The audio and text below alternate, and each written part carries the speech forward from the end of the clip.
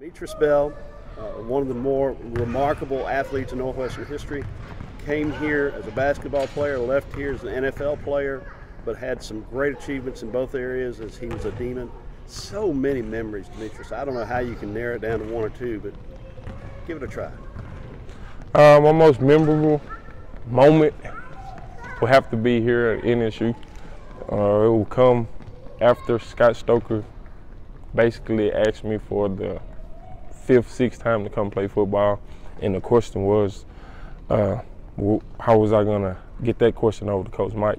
And uh, it basically boiled down to just get up off your hump and go ask him. And uh, I think at the end of the day, the, the answer he gave me, it caught me off, it caught me off guard because I didn't, I never thought a coach would let me leave his program and go to another program to help out. I would say, and he he never had a problem with it. And if it wasn't for him, then it's no telling where Demetress Bell would be or what Demetress Bell would be doing today. And that's probably my most memorable moment in NSU history. That's pretty strong. Now, another memorable moment, you weren't playing, but you were watching, and you were one of the most quickest guys on the court up in Auburn Hills.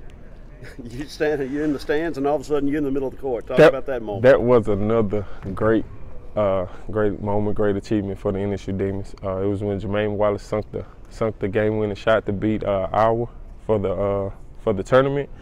Uh, I was I was on the sideline, but it was like I wasn't on the sideline because after the shot, I, I, beat the players that was on the sideline on the court. So that was a great time, and I had a great time at the NCAA tournament and my time here at NSU.